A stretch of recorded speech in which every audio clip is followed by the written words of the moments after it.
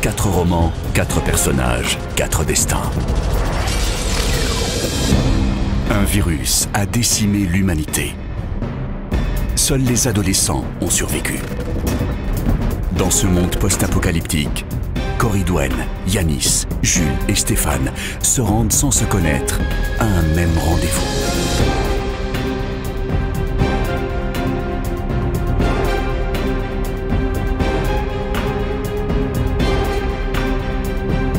Parviendront-ils à survivre? Et pourront-ils changer le cours des choses?